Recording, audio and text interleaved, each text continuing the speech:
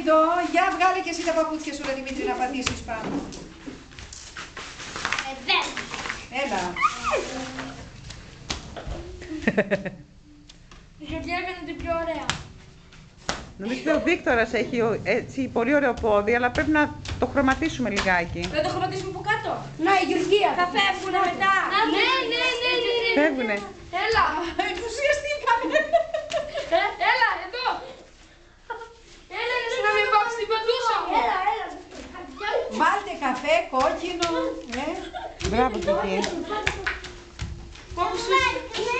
Γεια σου. Λοιπόν, εγώ θα πατήσω εδώ. Αυτή είναι πατησιά. Μπράβο, γίγαντα. Νικολέτα. Βέβαια. Ε, έχει αξία, διότι εσύ τα διώξες. Λοιπόν, Ωραία, δεν θα βάσουμε το κίτρινο. Στο θεατρικό ποιος παίζει το γίγαντα; Ο Βίκτορας τον παίζει; ε, ε, να μην γλιστρήσετε και χτυπήσετε. Καλά, παιδιά, είναι τέλειο, ε. Καλά, δεν το συζητώ. Παναγία, τι είναι αυτό που Λοιπόν, παιδιά, όχι κίτρινο, γιατί το κίτρινο μας ε, παρα-